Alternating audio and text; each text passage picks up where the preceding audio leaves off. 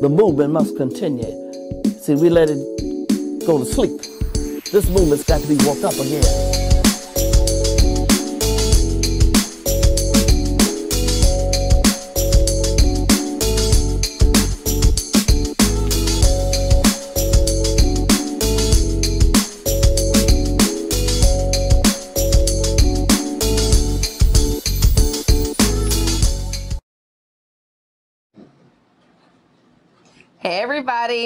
Welcome back to another episode of Lounite Unite Louisville here at the Plug Network, the source, the Plug Network Online, the source for change.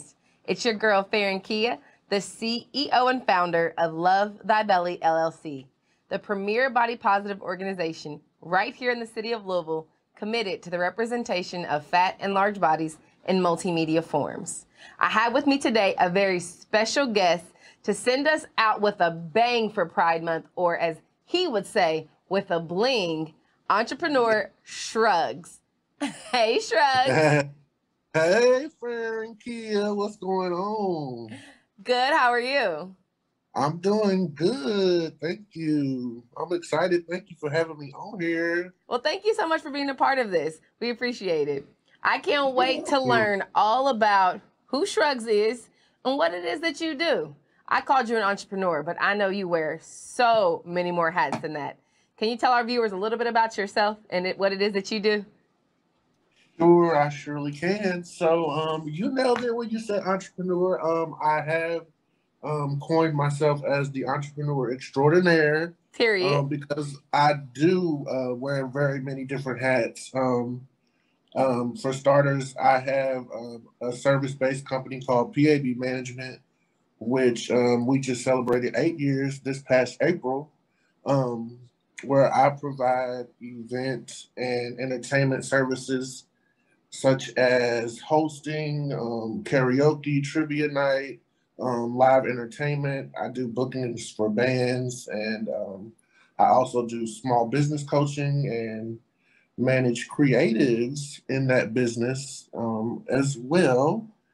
And then I also have um, a product based business, my uh, jewelry company, Accessorize with Shrugs. This is one of my pieces that I'm wearing right here. Okay, it's the um, bling. Yes, the bling.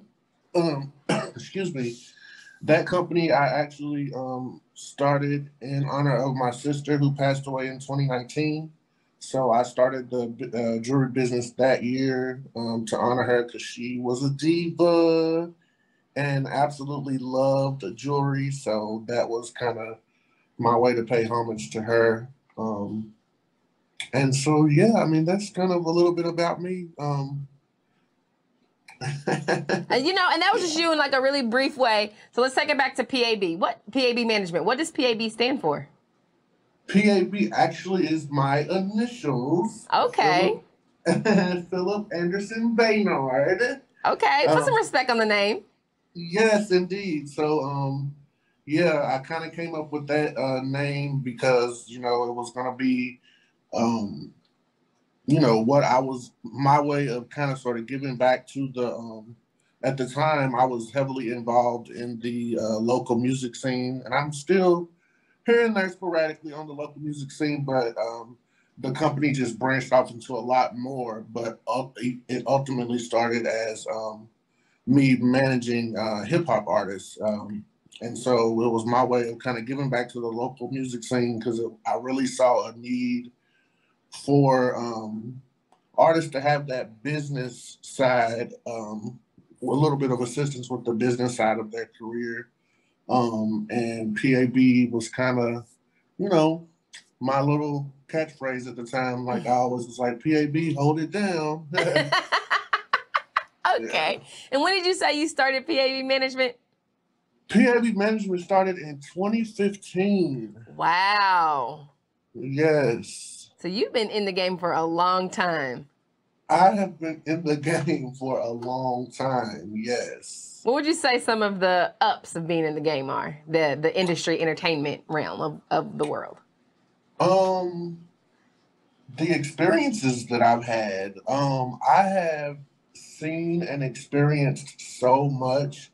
Um, and have been in spaces that I would probably have never been in if I was not, um, you know, doing the things that I do. Like I've, you know, been to galas and stuff like that, and played weddings and uh, balls and stuff like that. Um, I've sang in different uh, on different stages, Hard Rock Cafe, um, Actors Theater.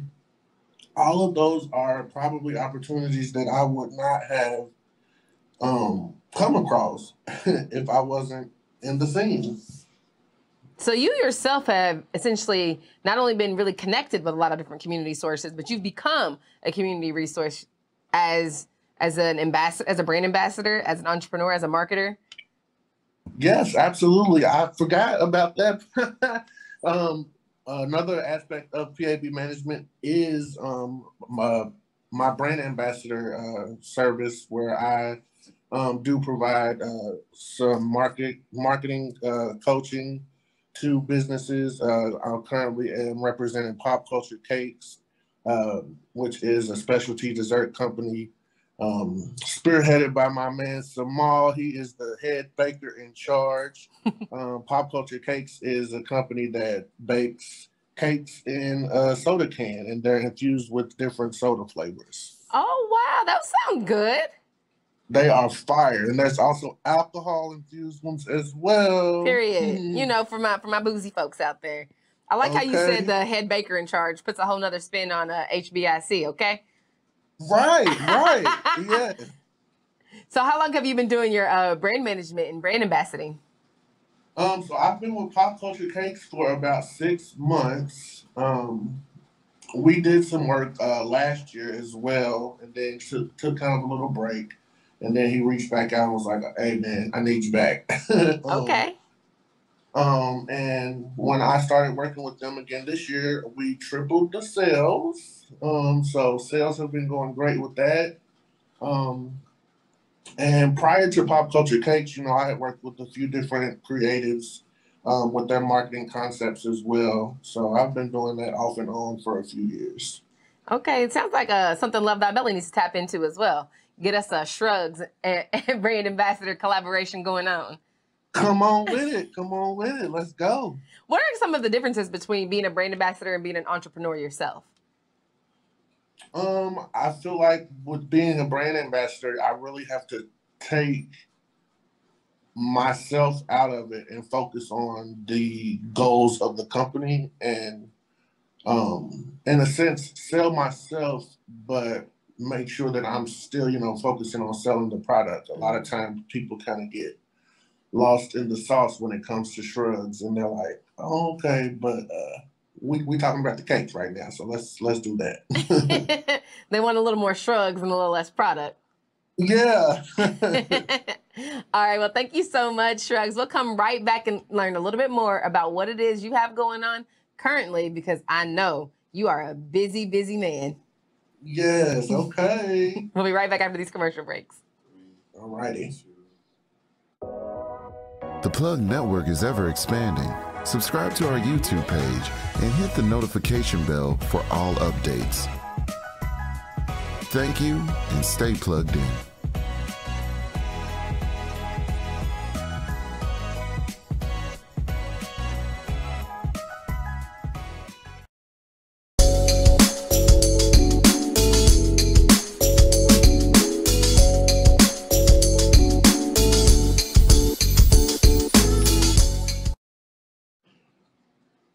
Right, if you're just tuning in, this is Lounite, Unite Louisville at the Plug Network Online, the source for change.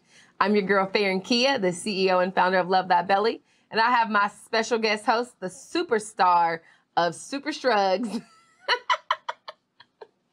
the superstar of Super Business Shrugs. So you were uh, telling us a little bit about PAB management in the beginning, you also mentioned that you have your own accessories line that you carry as well. Tell us a little uh, bit about what it is that Accessorize with Shrugs is.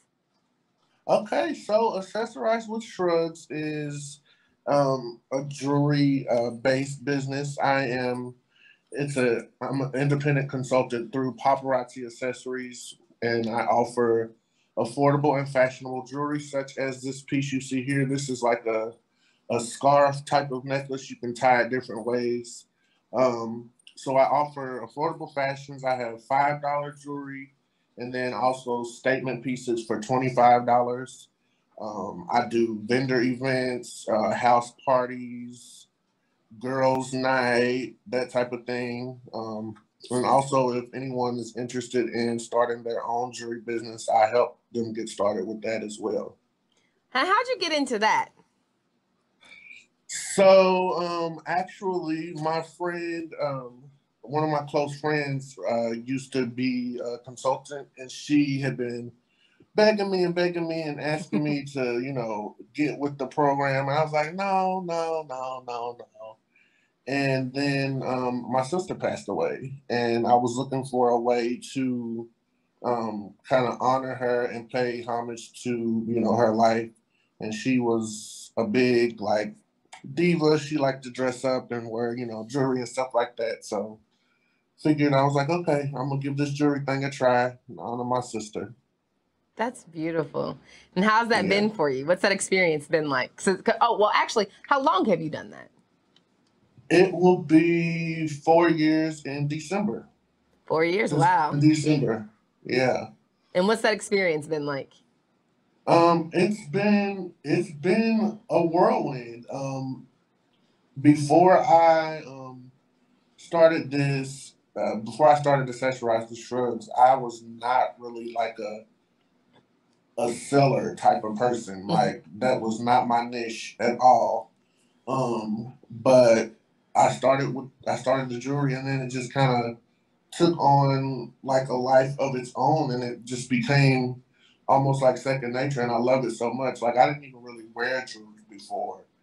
Um, and again, like that's uh, another opportunity that has allowed me to be in spaces that I probably would never been in if I didn't have like a product to sell. You know, I've been at um, grand openings for things. Um, you know, vending at uh, different. Uh, I was able to vend at you know Juneteenth, Juneteenth events and stuff like that. So it's it's been great. So it's allowed you to really step into even more spaces than just being not just, but then brand management has. You've been able to kind of be in different spaces that you might not have been in just as a brand manager during the or with the entertainment field. Absolutely. That's amazing. Tell us a little bit about some of the events you've been able to do with Shrugs, with Accessorize with Shrugs. Yeah, sure. So, um, just recently I vended at um the Derby. Der- I think it's called Derby Park Flea Market out on uh, Seventh Street here in Louisville. The Derby City Uh, Flea Market, Yes. or is it? What, it- it's Derby. Yeah, you're right. Derby Park Flea Market. That's what it is. hmm That one. That one. um, I vended there um two weekends in June, and um, it really was an eye-opening experience for me because I realized that I really need to learn a second language. um, because you know Louisville is a very diverse city to a certain extent, and um, I found myself coming across a lot of people whose first language was not English, and I'm like, okay, you know, I want to be able to interact with these people. Um, so yeah, we're gonna start learning a couple of different languages, but um, that's um, Okay, new goals. new goals. You feel me? um, yeah. So that's the most recent place that I've been vended at. Um, trying to think what else I do. I do so much. I just lose track. Like days are a blur. And as, I've, I've heard for entrepreneurs that sometimes the days just blend in together. yes, yes. Is it like that for you? It's definitely like that for me, especially because like my sleep, like my sleeping habits are terrible. Um, I'm very much like a daytime sleeper. Like I know I joke with you all the time, like a friend gonna be in the bed at nine thirty, child. me, And I will I, I be. come, I come alive at nighttime. Yes, so you do. I'm often up until like four. Well, for instance, last night. I mean, Wednesday nights are like my my my. I call them my turn up nights. So, I, I go out and you know I try to hit a couple of different places in the city and you know check in on my peoples and show my face in places and you know just enjoy my friends and have a good time. Um, so if we want to if we want to catch like, Shrugs out, it's definitely gonna be on a Wednesday night. Facts, facts. um, and so you know I got home late, and then by the time I was you know winding down and going to sleep and you know taking it on the phone, it's light outside. like, and the oh, sun's okay. up. Yeah. So yeah, so the days definitely are a blur. so the flea market that you mentioned, that was a part of the 502 Black Business Week, correct? Yes. Um, it was uh called the 502 Black Juneteenth Experience. Uh, Tiandra Robinson of T. Marie Consulting, who is the curator of 502 Black Business Week, she presented that opportunity for all the 502 Black Business Week participants um, to vend at the flea market. My camera is in and out on its own. That's freaking me out. Sorry. Sorry. Um, it's okay. Because I'm moving. Um, and so we had the opportunity to vend every weekend of the month of June, Saturday and Sunday. Um, but child, me and the Heat don't get along, so I didn't do okay. every weekend. That's okay. Plus, I, plus, I was booked for a wedding one weekend, and then one week, and then the other weekend it rained. So technically, you know, it was, you know. So it was yeah. just a, but you were able to have a lot of opportunity as a black business owner to kind of interact with other black business owners, and like you mentioned, people who may not speak English as their first language. Correct. Yes. Wow, I bet that was an amazing experience.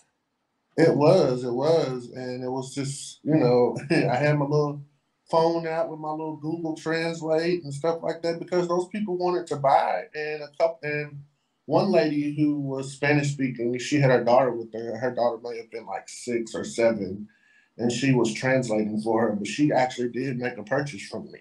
Oh wow.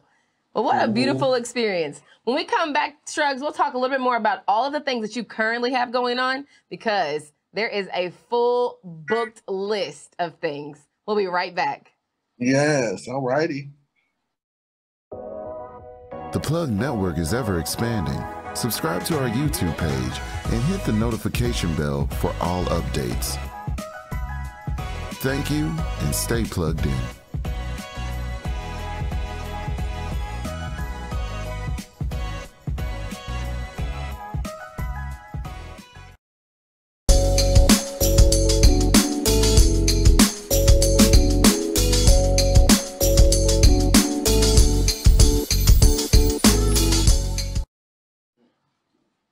Hey, Shrugs. Hey, Sharon. So when we left off, we were talking about the 502 Black Business Week, but I feel like we have something else 502 coming up. Can you tell we us a little do. bit about what you've got? the first week of August will be 502 Black Fashion Week. And that is also curated by Tiandra of T. Marie Consulting. And she has trusted me with curating the kickoff event which will be a fashion show infused with live music. Holla! We love closing music, okay? Yes, we do. Um, so yeah, that'll be August the 5th. Um, I would love to tell you all where the location is going to be, but unfortunately, our venue has burned down. oh. Um, so my executive assistant is working hard to find us a new location. Oh wow! So anybody who's watching this episode right now, please, please, please, if it if you have a venue yourself or you know of a venue where the 502 Black Fashion Week kickoff event can happen, reach out to myself or Shrugs or T Marie Consulting because oh, I'm so sorry to hear about that. That is okay. Um, yeah. So I'm just trusting that the universe is going to work it out, and it will, and it will. Yeah. Well, you know, although we have that hiccup happening and then, you know, I know you personally, so I know one stop's not going, one bump's not going to stop this show. Show ain't. it show ain't. so, other than the venue, can you tell us a little bit about what the 502 Black Fashion Week has in store for us, specifically the kickoff event?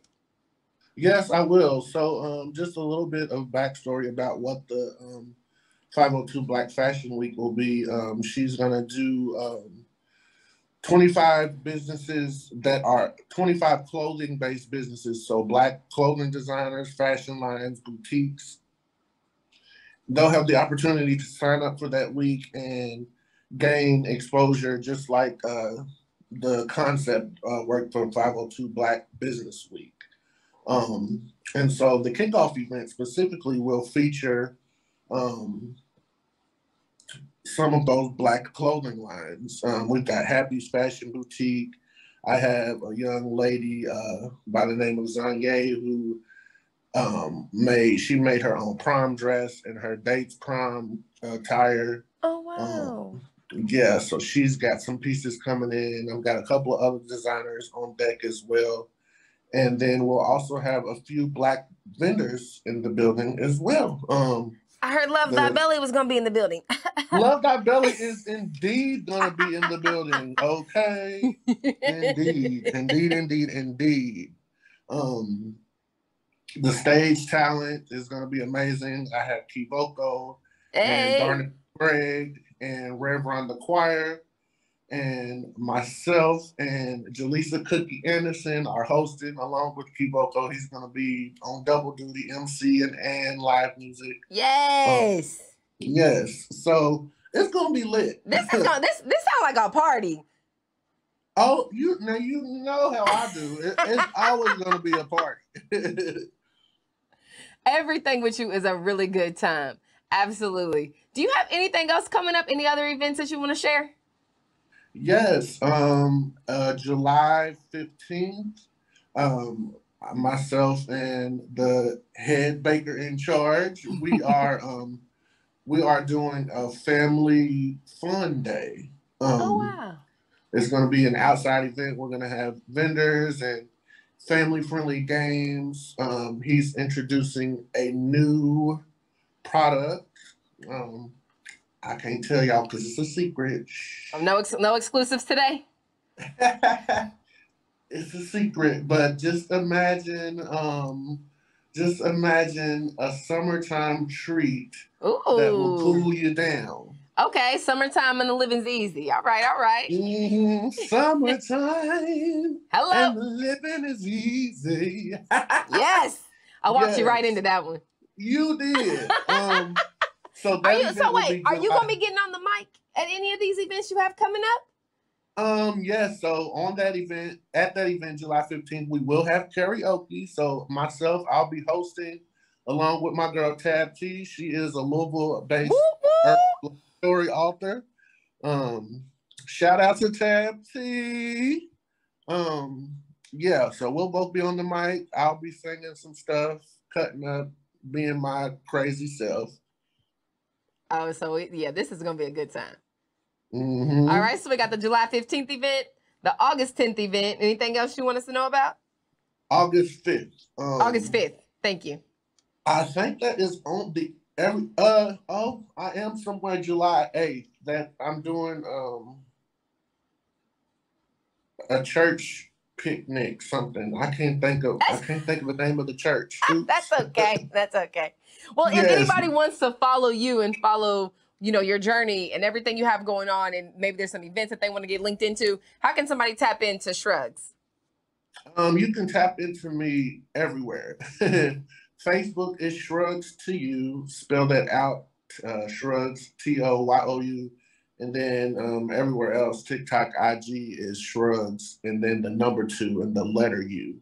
Um, but the easiest way really is to just go to accessorizewithshrugs.com and all things the entrepreneur extraordinaire are on the website. So I upload upcoming events. Um, you can book my services there. You can shop my jewelry there. You can send me a message. Um, yeah, so that's the easiest way. Okay, and just a quick recap: what are some of the services people can book you for? You can book me for uh, your karaoke host, your music host. I do not call myself a DJ because, mad respect to the DJs in the industry, I do not know how to do the little mixing and all that. But I can Okay. definitely curate to a dope playlist and talk smack on the mic. So that's why I call myself a music host. You can book me for that karaoke, trivia nights. Um, you can book me for your event to help curate it, help coordinate it, help support you um, planning it out, um, down to the execution of the day of. If you need help managing your stage talent, if you need to book live music, any of those things. If you need business coaching, uh, marketing strategies for your business, social media content, I got you covered on that as well. Yeah. All right. So it sounds like it's just a one stop shop with you. We're working on being a one stop shop. Yeah. All right. Once again, thank you so much, Shrugs, for joining us today. And remember, if at any point in time you need any contact information, Shrugs, just look them up and get LinkedIn. It's your girl, Fairen Kia, the CEO and founder of Love Thy Belly LLC, here at the Plug Network Online, the source for change. Make sure you join us for our two year anniversary next month. Yes. Congratulations. Thank you. Bye, Shrugs. Bye. The Plug Network is ever expanding. Subscribe to our YouTube page and hit the notification bell for all updates. Thank you and stay plugged in.